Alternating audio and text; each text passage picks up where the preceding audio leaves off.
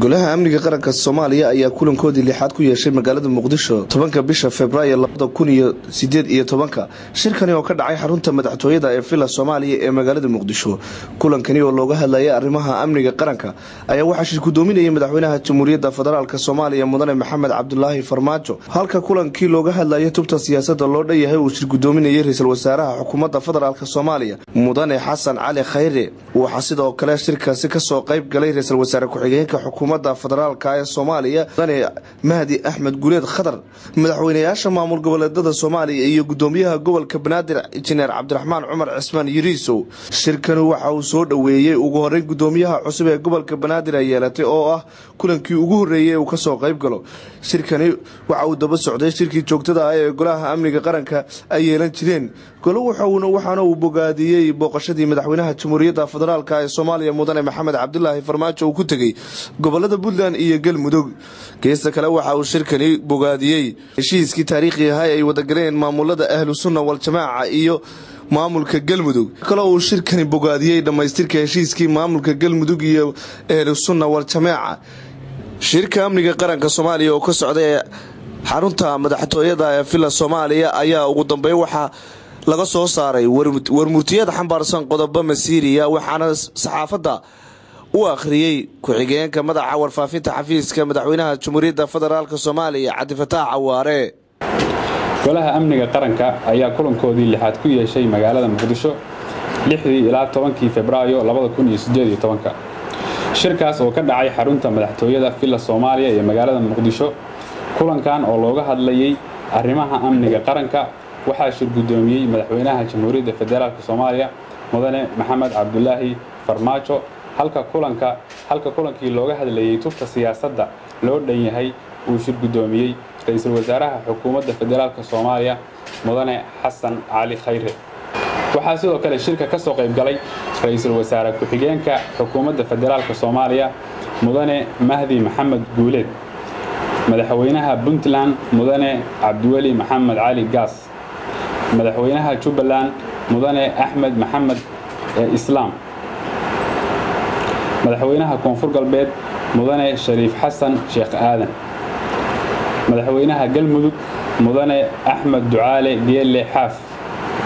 Madaxweynaha hirshabeelle mudane maxamed cabdi waare. Iyo guddoomiyaha gobolka banaadir ahna duqa magaalada muqdisho mudane cabdiraxmaan cumar injineer yariisow shirkan wuxuu soo dhoweeyey guddoomiyaha cusub ee gobolka banaadir oo ah kulankii ugu horreeyey shirkan wuxuu daba socday shirarkii joogtada ahaa ee golaha amnigu qaranka oo golaha amnigu qaranku yeelan jiray. Goluhu wuxuu bogaadinayaa booqashadii taariikhiga ahayd ee uu madaxweynaha jamhuuriyadda federaalk soomaaliyeed mudane maxamed cabdulaahi farmaajo ku maray gobollada dalka gaar ahaan deegaanada puntland iyo galmudug. Wuxuu kaloo shirku bogaadinayaa dhammaystirka heshiiskii maamulka galmudug iyo ahlu sunna waljamaaca shirkan waxaa diiradda lagu saaray qodobada soo socda. Kow arrimaha amniga qaranka. Labo tubta siyaasadda loo dhan yahay labada kun iyo labaatan. Saddex qaybsiga khayraadka dalka khaasatan khayraadka kalluunka. In ay dowlad goboleedyadu dardargeliyaan daraasaynta tirada iyo tayada ciidamada booliskooda oo ay ka mid yihiin daraawiishtu kadibna la ysku dhafo si waafaqsan hannaanka boolisaynta cusub. New bolicing model iyo qaabdhismeedka amniga qaranka. Labo dowladda federaalku waxay ka caawinaysaa ciidamada booliska dowlad goboleedyada oo ay ku jiraan daraawiishtu hub saanad agab ciidan raashin dawo gunno tababar iyo tayayn ee kala qayb qaadan doona ciidanka xoogga dalka soomaaliyeed. Howlgallada ciidan ee lagula dagaalamayo argagixisada.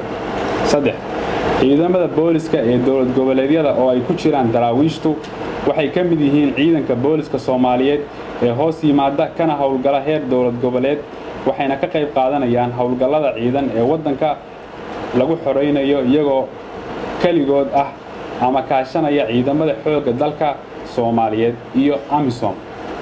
Afar in la magacaabo lana howlgeliyo guddiga isku dhafka ee ciidamada xoogga dalka soomaaliyeed. Shan guddiga farsamada ee amniga qaranka oo ka kooban heer federaal iyo mid gobol waxaa la go'aamiyey inay kulmaan saddexdii asbuucba hal mar waxayna xog dhammaystiran la wadaagayaan madaxweynaha jamhuuriyadda federaalka soomaaliya iyo madaxdooda in xafiiska amniga qaranka qorshaynayo una helo miisaaniyad lagu howlgeliyo xafiisyada amniga ee dowlad goboleedyada. In la daadajiyo dhammaystirka ciidamada danab sida ku xusan qaabdhismeedka amniga qaranka. Shirweynuhu wuxuu hoosta ka xariiqay ahmiyadda ay leedahay qabsoomidda doorashada qof iyo cod ee labadakuniyolabaatanka sida loogu talagalay sidaa darteedna waxaa lagama maarmaan ah in guddiga doorashooyinka la siiyo taageerada ay u baahan yihiin siyaasad iyo dhaqaale ahaanba. Yaasiin maxamuud telefishinka star magaalada muqdisho